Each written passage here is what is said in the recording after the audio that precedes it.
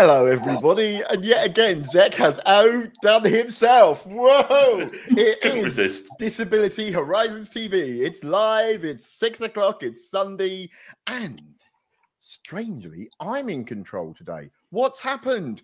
It's Dan's turn to lead the lost him. but Dan apparently is stuck somewhere in Southampton, Southampton in a bowling alley with a group of disabled children having a party, and it's all gone Pete Tong. So he will not be here. He will be apparently trying to calm children down as they uh, can or cannot bowl in a bowling alley that is or is not accessible. I don't really know. The message that we got was garbled, but you could tell he was one stressed out father. Oh, so I'm going to be doing the lead, uh, which means I get two bites of the cherry. it's my show next time too. And we are, of course, joined by Zec the Tech, who will be making the magic happen. Hello, Zec. Good evening. I, I'm going to start off. This may not be approved of. It may be approved of. We give the Tories a very big bashing on this show, and obviously, rightly so. But you know, our local MP round here, unfortunately, met um, a very horrible end. I can't Hmm. imagine how scary that was. Oh, is he your MP? He- he's in a neighbouring Yeah, yeah.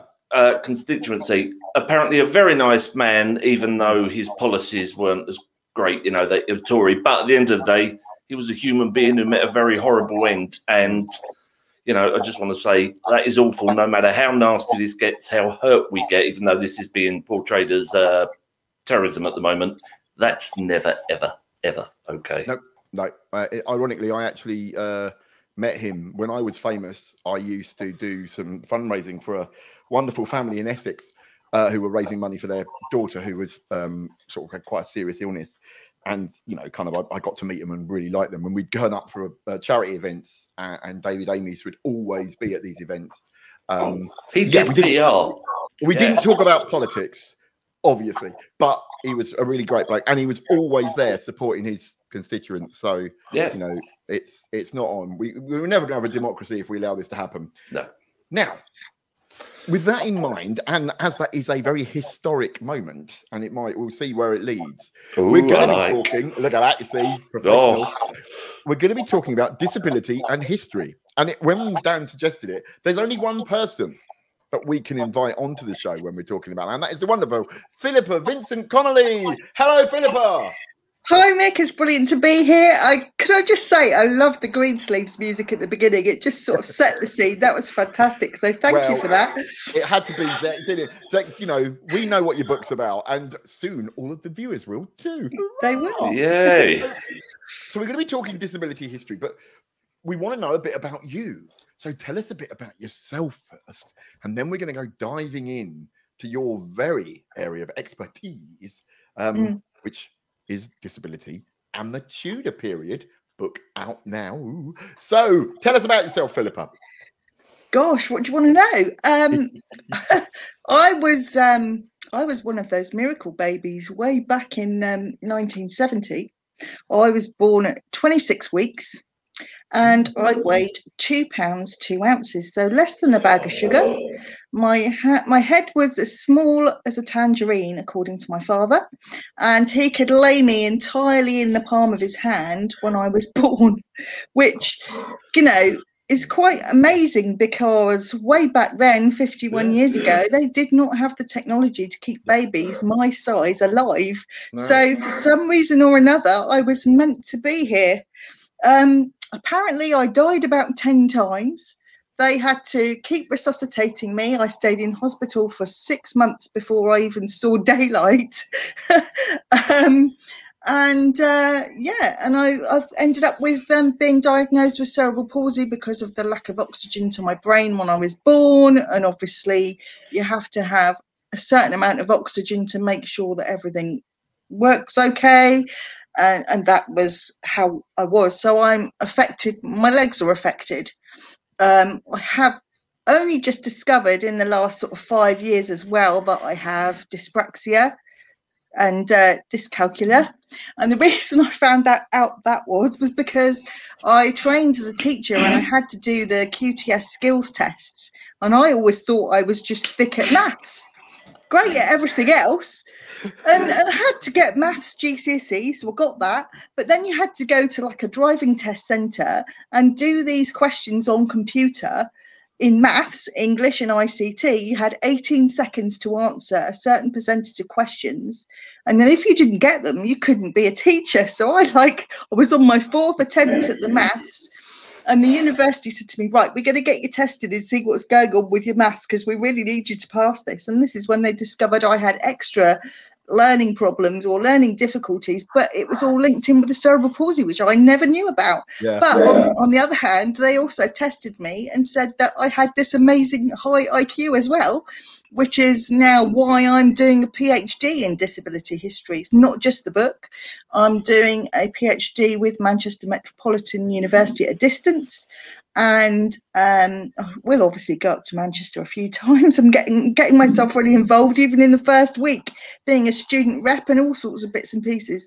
Um, so I'm hoping that from the research I did with my book, I will be able to delve deeper into that research and really find out, out some things that I didn't actually mm-hmm. um, actually know about. You know, so it's funny because you, you, you like you're saying you're going to go and study history of and disability. It's not something talked about much at universities and colleges, is it? Well, funnily enough, um, I today through through Twitter and through the fact that we um, we put this up on, on Twitter, somebody contacted me and said, Oh, actually, I'm at Southampton and I'm doing disability history of the, the Tudors as well.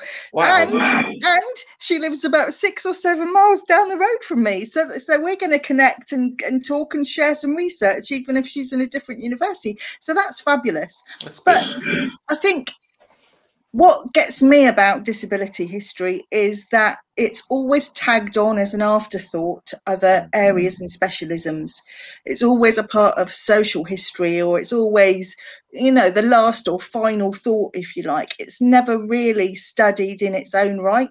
Where we should have whole departments in universities who are looking at this as a subject within history, I, I feel, because and I'm not just saying that because I'm a disabled person, but it, the history of disabled people needs to be reclaimed back by disabled people because we are mentors and role models to other people who are unfortunately being born with disabilities or having to cope with disabilities later in life if that happens to them that way.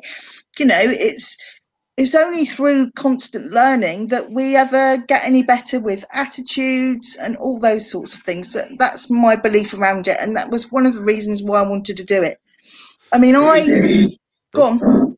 No, I was going to say, aha, I still can't work out where that sound's coming from. But anyway, um, we we when you become especially you know i mean i was like you i, I was a historic baby i was one of a test group of six to be given a new type of chemotherapy and it's always weird. We kind of meet up online and go, "Oh, still here," um, because before that, the tumor I had was kind of difficult to treat. It was about ninety nine percent terminal, and so we're a really weird little bunch. So even that is important. But I've it's funny that that wasn't recorded very well. So actually, the history of the treatment I have isn't even in the medical books. It's in one medical book written by the doctor who treated me, but wasn't carried on. So it's weird that disability history just does seem to fall between the cracks. Well, and so many historic figures were disabled, weren't they? Yeah, How do we find out? I mean, if, if would you find it researching ancestry? Is it it locked anywhere? Is it? I mean, there, ah, well, that's what we need. That's what we got Phillipa on for because she knows how to do it. That's Tell true. um, well, the problem being with disability history, well, what I've come you know across in my initial research for the book was that in particularly in the early modern period the tudors is they were only just beginning to categorize certain disabilities. So they would actually describe what they saw. So if you were lame for example you'd be called a cripple. If you were blind and deaf that's what you'd be called. If you had some sort of an intellectual disability you'd be called mad or an idiot or you'd be a natural fool. So the terminology isn't fabulous, but you've got to remember you've got to look at the subject in context from the time. There's no yeah. point looking at it through rose tinted spectacles and putting our political correctness on it because it doesn't work. Um, so people buying the book looking thinking they're going to find all sorts of information about different syndromes that are around today, they're not going to purely because those kinds of disabilities weren't recorded they didn't have the medical knowledge to deal with them and so for somebody like myself or you Mik yeah. dare yeah. i say it we wouldn't have survived we wouldn't have existed but that'd be funny Philip. if i'd have been born a week earlier i'd be dead that's how much my history is you know kind of uh, timing mattered mm, well I, I feel as if I, if i'd have been born in the 60s for hmm. example, just a decade earlier, I wouldn't have existed. I mean, my my parents were approached to go in the Guinness Book of Records as being the smallest surviving baby in that, that year. But as you were talking about records, funnily enough, the hospital lost all my records as well. Yes, yeah, so yeah. before you know, um, when you before you get to 18, you can c- claim for medical mishaps and things like that. If my parents had been savvy, they would have been able to claim for me being so small and all the problems that I had associated with cerebral palsy, and I would have got some extra financial help. But things were different then, and you didn't know about all of that. So, hey ho, I'm ploughing my way forward myself. I have exactly the same as well. My my um, spinal cord injury was caused by a doctor not spotting that my spine was collapsing, and because back then people were much more deferential to the medical profession, my parents never thought to challenge it. Um, and it was only many years later I found in my, in my notes, the notes they've got left, that there was a letter saying, "Oh, during a surgery, we accidentally severed the nerves to his right leg." so, so the reason why I can't walk is partly my spinal collapse and partly because of the surgery they did to fix it, which was nice. But this is the thing: is that we've all got our histories around disability and we think we're alone. And yet like you know it, it, it's always been there. When you're when you're looking at the tudor history what were the attitudes around disability back then? What was it like to what did people view you as because you were disabled? Was did, did that was that even a word? Not really. Uh, hmm. as i said to you um the tudors would just describe what they saw and they took you on face value. You know that was the wonderful thing about it is because we weren't labeled and put into all these different boxes like we are now. So you were just taken as the person that you are you know and and that's that's the way they looked at it which is to me is quite refreshing about it. But they had two diff- very different viewpoints based on religion and superstition. Right. And um, also, depending on where you lived and what sort of family and what sort of social status you were born into, also depended on how you were treated and, and what kind of life you, you led. If that does that make sense? So you've got oh, yeah. that sort of umbrella of things going on. So, for example, um, their superstitions were still a bit into witchcraft. They were still a bit into sort of weird and wonderful things like the um, Malleus book, you know, witch witch hunting and everything. So, you know, if you if you had a deformed baby, for example, then you must be involved in witchcraft. Or there must have been a sin in a past life of your parents. So was this caused by the church? Um, this was general general superstition, just general, you know, and folk folklore that had been passed down time and time through the generations, and also partly by the church. Um, and so, therefore, you had that sort of idea that if you weren't physically normal or intellectually normal, then there was some kind of problem. Where where did that problem originate from? And and obviously they, they put it on a religious sense into the sins in your past life or things like that to be able to explain it because there was no other way they could explain it they didn't know. They, they didn't know and then on the other hand you had um, disabled people going and living in with noble families and with the upper classes who through their charitable work and their charitable giving through the church would take disabled pe- people in, support them, clothe them, feed them, educate them. and they would sort of consider them important because I don't know whether you, you know you've been around people with Down syndrome. Syndrome, for example. My uncle um, used to run a, a community in um, Ringwood in Dorset where he would look after adults with Down syndrome, and they have the most wonderful way of just saying whatever's on their mind. There's no filter. There's no judgment. They'll just come out and say whatever they think. And people like that around noble families, around Henry VIII, they were valued because they had that ability. These people had no agenda going on about, oh, I, I want to get close to the king or close to this family mm. because I want money, I want power, I want status. They were just being themselves.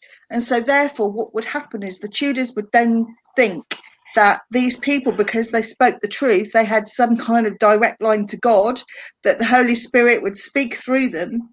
So they were completely speaking the truth. They were considered, they were honored. They weren't holy, but they were considered really important. I mean, Henry VIII, for example, had several um, disabled people around him, and he would sometimes look out all of his other privy councillors and just have these disabled people in his presence and would talk to them before he talked to anybody else. Well, I guess back then it was like, who can I trust? Exactly. You know, yeah, so that, you know, yeah.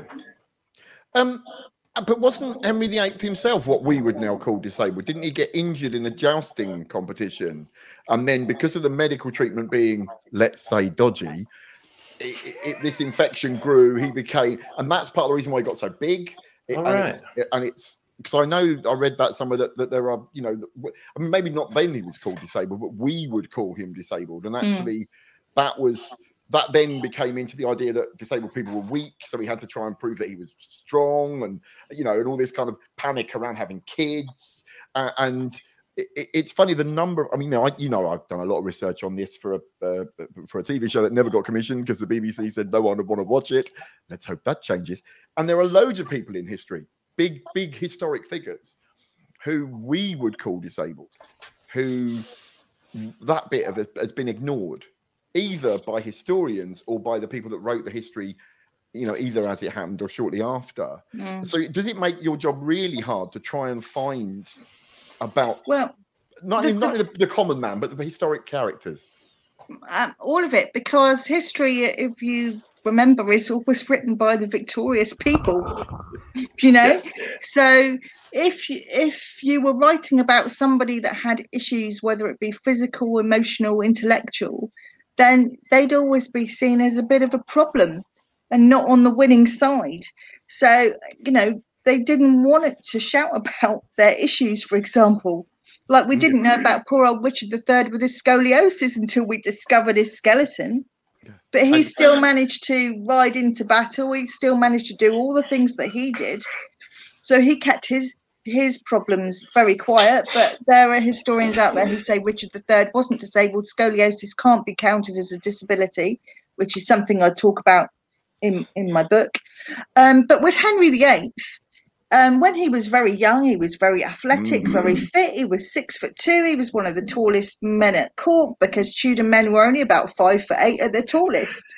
You know, so he was considered a well, hey, you know, a bit of an athlete, a bit, you know, he'd do everything. He'd, he'd joust, he'd he'd hunt, he'd go hawking, he'd do everything, tennis, the the whole kit and caboodle. He'd wear out seven horses in a day in a hunt.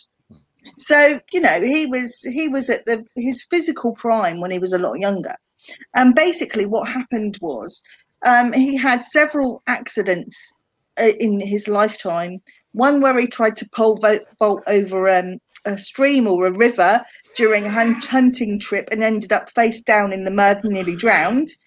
Um, there was other other things where he injured himself playing tennis, for example, and to because his foot was so swollen, he had to wear a normal leather shoe on one foot and a silk slipper on the other. And then it became like fashionable in court around that time for everybody to wear one leather shoe and one silk shoe. Do you know what I mean? To keep up with the king, sort of thing, and not make him feel uncomfortable. Um, but the the joust of um because um, he had a really bad joust in um, March 1524 um, where he was jousting against um, the Duke of Suffolk, Charles Brandon, his best friend. He left his visor up. Brandon goes with the lance straight at him, and it goes just sort of misses his eye. And you know he's, you know, so there was that one where I would like to think that perhaps that's when his capacity, his mental capacity, slowly began to dwindle. I don't think it all came from the 1536 joust, but in 15 January 1536, he's he's jousting at Greenwich, and a horse falls on his leg. Yeah, and he's had an, an ulcer injury on his on his leg um, for before, and the fall opens up that that ulcer again there's different reports from different ambassadors. Some say that he was unconscious for two hours. Some people say that he was fully conscious and he was speaking. You know, it depends on what, which account you read. If it's the Spanish account, then he was unconscious. If it's other accounts, then he wasn't. Um, you know, so it's very hard to say. Um, but obviously, after that joust, he'd become quite obese anyway. He'd start started to put on a lot of weight. He was on a, a diet of meat and fish all the time, hardly any vegetables because they considered that peasant food. So you don't eat peasant food, you have all the best you possibly can. Sugar was slowly beginning to come in. You had marzipan, castles, and dishes, and all sorts of things, and subtleties made up all the time. So they had a huge gluttonous diet if you've been around Hampton Court and you've been into the kitchens, you know, some of the guys you can watch them cooking things there, and I've talked to them about the food and you know, very rich diet. So of course Henry did put on weight, and the more his ulcers were playing up, the less active he became, and so the more weight he put on, and da da da, and it just goes on like a roller coaster. So eventually, sort of towards the end of his reign, he's got a 54 inch waist when he'd been pretty athletic. So he's trying to sort of carry around this bulky frame, this extra weight. Um, in his inventory of goods, there are walking sticks with whistles on it. There are three wheelchairs with tassels and velvet and all sorts on them. There's also a Stannah stair lift, which gets him up and down the staircase at Whitehall Palace. There's 26 steps when I, I, I went to a festival in Wimborne and I was to hear David Starkey speak, and I went over and had a chat with him about it. And I said, Look, I said, how do you think they could possibly make a Stannah stairlift for Henry VIII? He said, Well, it must have been a bit like um, a wheel and pulley system where you'd put cargo onto ships, you know, on and off ships, that kind of thing. So that's sort of how I sort of envis- envisaged it. Um, so, but the great thing about it is that Henry liked to keep all this side of his life really quiet. So it was only the people in his um, privy chamber that knew he had this the stair lift, that knew that he had this wheel, these wheelchairs and these walking canes with whistles on. He also had a megaphone. So if he fell over and he was on his own, which was probably probably very very rare, he'd, he'd get bellow through this megaphone and say, "Come on, lads, come and help me up." But oh my God, just, I'm Henry VIII. You, you are. I, I, think I, I was just thinking this is great for me because it means finally, as I get older, I've got that acting role to look forward to. I can play the old Henry. but the thing is, the thing is, not just one courtier would be there to help him up. He'd maybe have to have three or four because he's just like so heavy, which is not very dignified for a monarch. You know he, his, his eyesight was also failing. There you know some historians now have suggested that he might have had diabetes and extra other you know heart problems and all that because of his weight. So you know the poor guy's like deteriorating rapidly mm. and he's not accepting the fact that he's got to use disability aids to get around he wants to be seen as the young henry as he always used to be but the trouble is the trouble is, you could smell him walking down the corridor before you saw him because the ulcer was so putrid and rotten and horrible.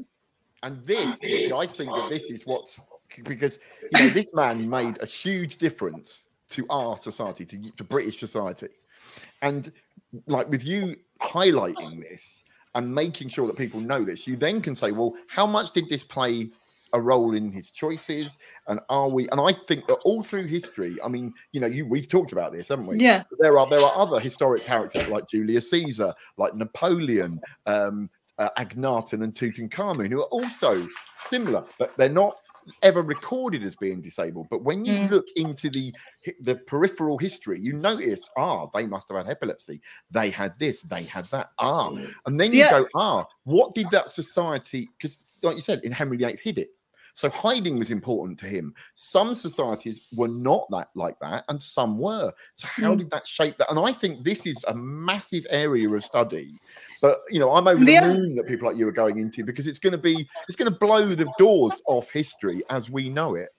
the other really important thing is to consider i mean i'm I guess having a disability myself makes me look at this research through a slightly different prism Mm. not that i'm biased towards it or against it one way or another because obviously i've i've got to be neutral in my research but it also makes me think of you know when you're disabled when you've got things going on with your health you're in pain.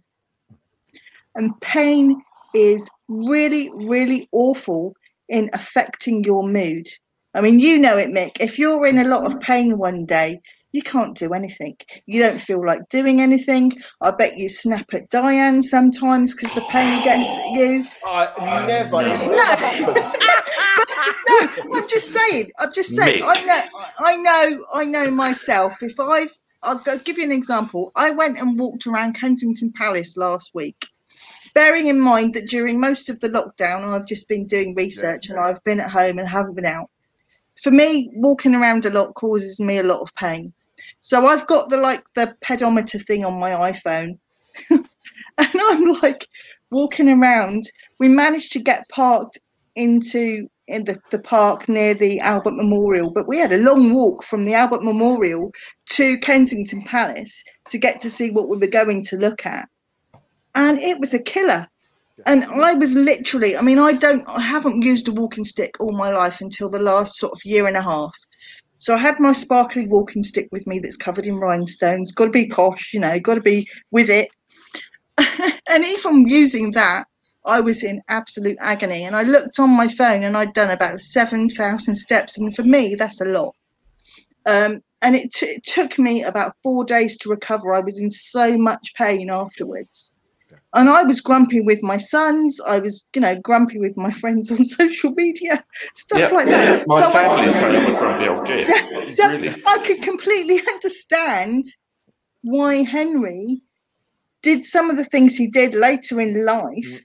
Because if his health was failing so much and he was in a lot of pain, that's going to affect your decisions. Kill him. Just take him to the tower and off with their head. Off with their head. You know what? It's But funny though because the other it's a thing valid is- point. Is that, is that they're in so because I, I entirely agree that you've got all these people that are in different that have got different illnesses and impairments that are making them uh, not how do we maybe not making the best choices every now and again in societies that sometimes say if you admit to being disabled then you are weak and we will get rid of you so not only are they making bad choices but they're permanently trying to hide who they are Yeah. and I- I mean, it's funny because like the Viking histories and about like Eric the Boneless, that's a real character. He was, uh, you know, a, a wonderful tactician in battle. So even though this person is, is believed to have brittle bones, he was marched in on a shield at the head of the Viking army, and his plans helped the Vikings win and became, you know, doing, you know, rule huge swathes of England for a start. And that again, so so there you've got someone who's honored for being disabled and and again it was partly like you said about this idea of being in touch with spirits and i know Mm. that in the egyptian society they believed that a lot of impairments were to do with getting ready for the next life in the art uh, in the in the o- other world. You know Mm. so it's it's going to be uh, you know i'm really looking forward to this because i've always been fascinated by this and the idea that this is going to blow up and become something new is fantastic. At which point i'm going to pull us because we've only got quarter of an hour left into some more modern history. Look at that see? Uh, this- this is Time travel. this is this is yeah this this in the industry is called a segue that was a very Okay. slow and horrible segue but anyway, 'cause what, we- because something I think that you know I know Dan wanted to talk about was that that one of the big events in in you know in recent history around disability was around the Holocaust and For the sure, fact that yeah. you know we we have this sort of uh, we talk everyone talks about it a lot but very few people talk about you know the Aktion T4 the the whole policy of of of painting disabled people as you know as useless as, as a drain on society and trying to clean and how much that has impacted on our modern way of thinking Don't Did get me started. well please do because we've got 15 minutes do I mean what you know is this somewhere that, something that you you're thinking of looking at in, Well, in your career? Once obviously- you- I know you're doing the Victorians next but Yeah. after that are you are you going to do more modern sort of history Well, I'd like to do disability in the Stuarts, disability in the Georgians, but I've also got to do my PhD. Um, you know, I've got different the- theories about different time periods, so Mm. just going to see how it goes really, and and and how I get on with it. Um, but with you were talking about the Holocaust, um, I've been in the fortunate situation where, as a secondary school teacher, I've been in history lessons where we've taught about the Holocaust.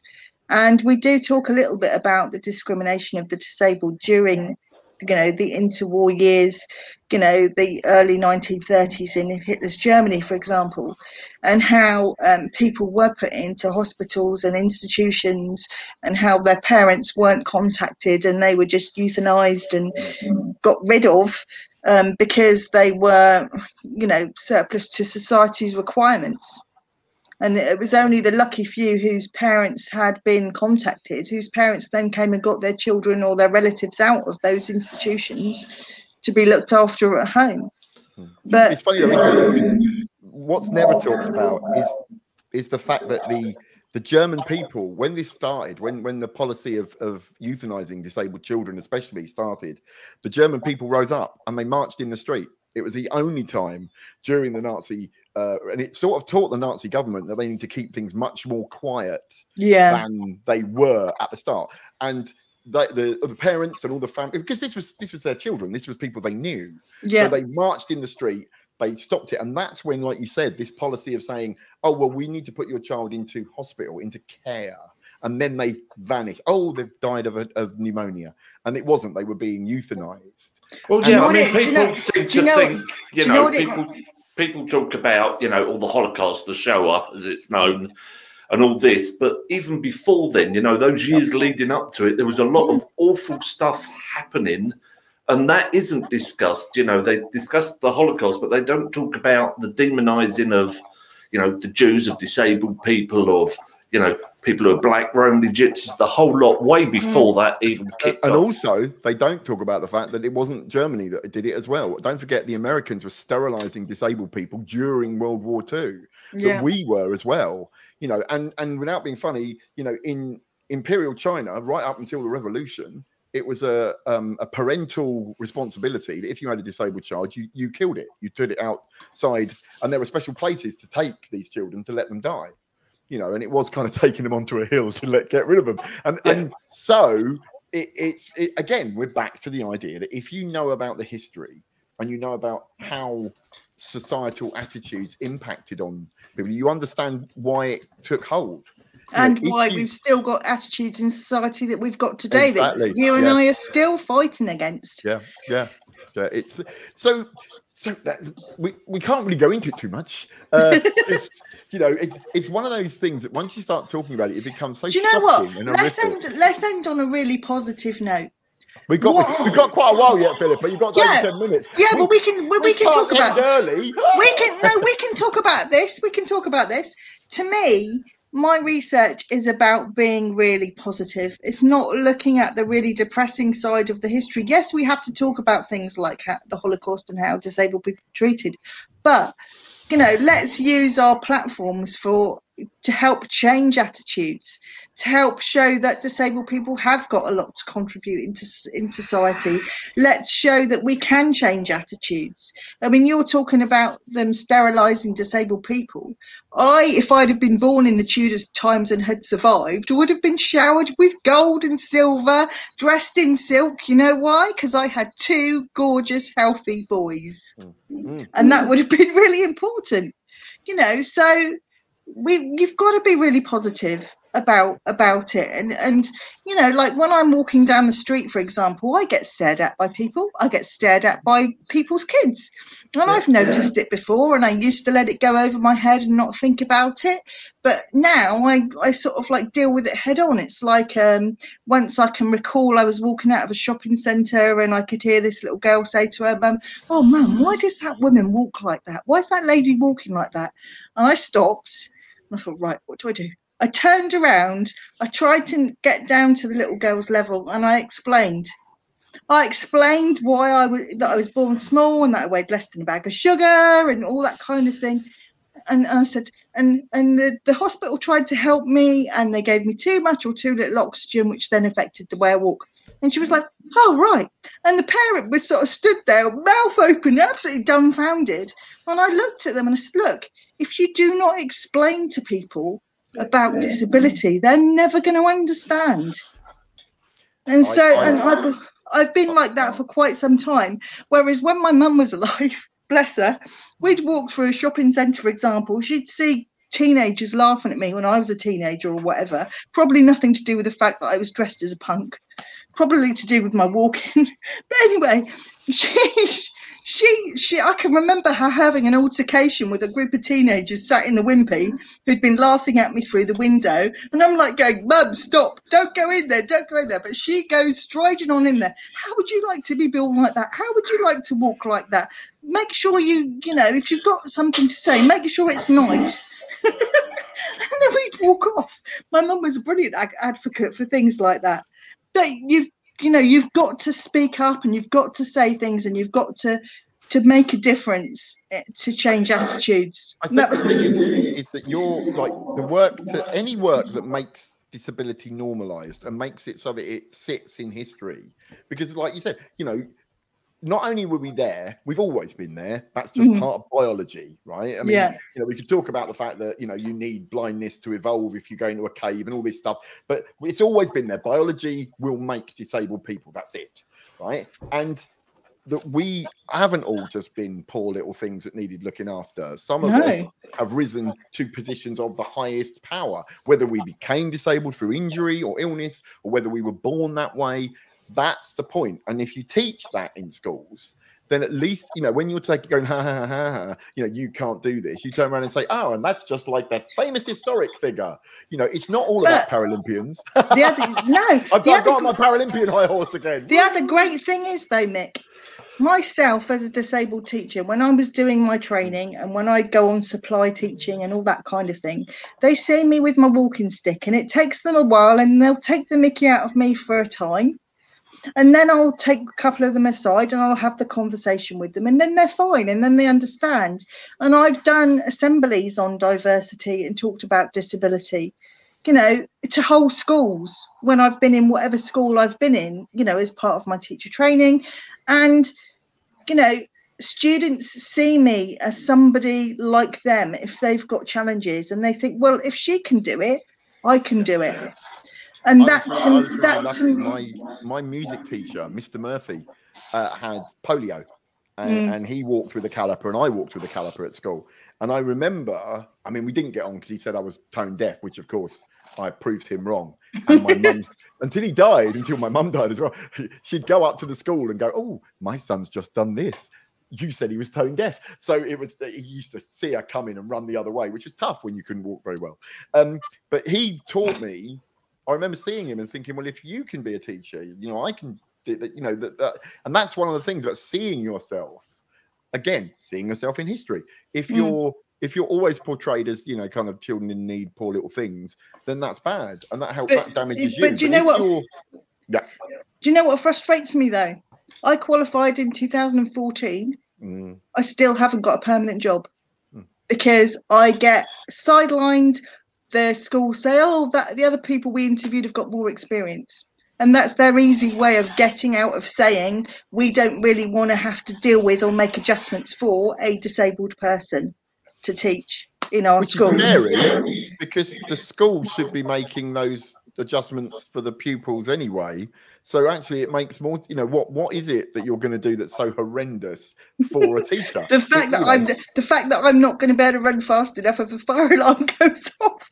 But then, Oh, but do then, what they did then- with me. Put you on the ground floor. So, Yeah. when I when I was I at school know. at sixth form and at art college, all I my mean, to be lessons were fair- moved to be fair, some schools did make adjustments, but a permanent job has eluded me, which is now why I'm writing, why now I'm doing my PhD, because I've sort of given up the idea of ever being a teacher in a in a state school now because it, attitudes just haven't moved with time. sad to say i know it's not every single school but you know from what i've experienced that's how it's been I mean, we've had some some amazing guests on, uh, professionals from. Well, we've had uh, uh, Grace, was it? Who's yeah, a doctor? Grace, doctor. She's now a paediatric doctor. Yep. Uh, George is a lawyer.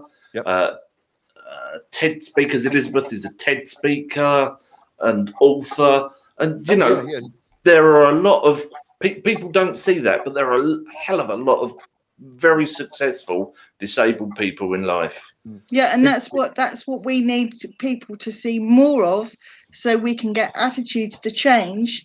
And this is why history is so important, so we can look back and see these amazing people from all periods of history, not just the Tudor period, Yeah. and, and see how amazing these disabled people were, and say, hang on a minute, you know, let's rethink this. Plus I'm that gonna- book. I'm going to say again, you see, uh, about history as uh, part of the disability history of the media that's been forgotten.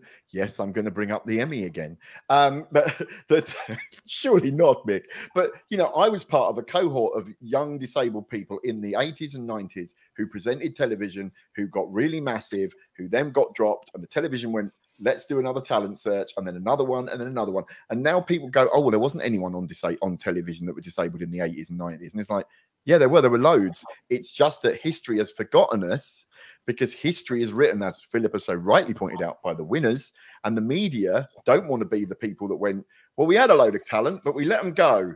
But So- actually, actually, actually, let's be. I'm going to be positive again because I, I I have actually I am on a shortlist to be a TV presenter. I'm just waiting for jobs to come in. But so you imagine, imagine though, Phillipa, you're going to be doing history and television. I, I, I was part of a BBC program about the history of disability, like the big characters we're talking Yeah. about, right? Yeah. That was being written in 1994. Mm. And the BBC bigwigs said no one wants to watch a program about disabled people in history. No one will believe it, right? So what I'm saying is, is that the the history we're making change and positively, like you said, that is good. It's going to be brilliant. But we could be so much further along if our history hadn't have been forgotten and that we Of could course. be open about those barriers. So let's hope that we can see more of you. But what before we go, let's just round out all the other things you're doing because I know that you're doing something else. A And that's book. editing, not only a book. Oh, yes, you've got your. In fact, let's talk about that Yeah. first because we've only got three minutes. So, so aren't There you you an go. author? You're an author. Here's the Yeah. book, folks. Quick, cut to that. that's picture. my that's my that's my um fictional series. I've got four books in the series. The first one's been really successful. We have got a disabled character in there called Jane Fall, who was actually part of the Tudor court. Um, and I've put I've written her as a as a Down syndrome person. Um, so she is in the book, and how Anne takes her to court with her and looks after her, Anne Boleyn, that is. But it's about a 21st century history student who time travels back to the Boleyns and to the Tudors, and how she interacts with them all, and does she change history or not? And But, when you know, you but- read it, but it's it's four books. It's four books. From- This is this is the first one, um, and it's um it's on Amazon. It's self published, but I have got two potential big mainstream publishers interested in the whole series. Just waiting to all of our fingers waiting to, waiting to hear waiting to hear i'm hoping it will be made into a super amazon or netflix series let's see good, let's see what happens Do they need a, a, a fat old Henry VIII in a wheelchair? Because I happen to know one that's perfect. ho, ho, ho, off with a head. Now, before we go, there is one more thing that I'm going to mention that you're doing, Philip, because you're editing, and this is kind of historic. Yeah, magazine. it is now. which is about the 80s music scene. And I know because I'm your one of your staff writers. So Yes, tell us are. about that because it's coming out soon, isn't it? Gosh, well, in the 80s, I used to dress as a goth and a punk, partly to hide my disability. I thought people would look more at my clothes and more at what, what I look like rather than the way I walk. So I was very into Marc Almond, Soft Cell, Culture Club, Visage, Human League, all of that. Anyway, I wrote a piece, a blog on Rusty Egan because um, I asked him some questions. I was hoping to interview him for my podcast, but he was too busy. So I asked him questions instead, and I wrote it up as an article on my website. I put it on social media, and this guy from Silverback Publishing, Tom, um, got in contact with me and said, "We are looking for an editor in chief for an 80s specific magazine. Would you like to do it?" And I said, "Of course, I'd love to do it."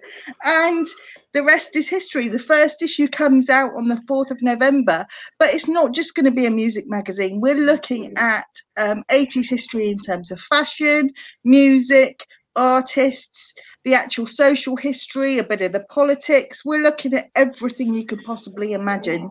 And it's going to be absolutely fascinating because it's rather sad that 40 years ago is now considered contemporary history. And the fact that I actually lived through it, I'm like feeling a little bit old now. And, and I'm But- very but- I, I mean, uh, the wonderful thing about it is I've got some amazing opportunities coming up, interviewing some of my all-time heroes, and I can't divulge names at the moment. You'll have to get the magazine and the subscription. But I am so excited, I can't tell you, and I've got to real keep my cool and my calm and not fangirl around anybody. If you get my drift oh yeah. but we've got competitions all sorts of things going in the magazine interviews all sorts reviews of albums past and present new bands that are influenced by the 1980s and we're in, we're interviewing some vintage artists. I interviewed Martyn Ware from heaven 17 in the bef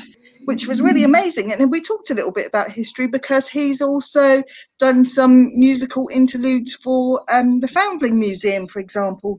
So that was quite interesting talking to him.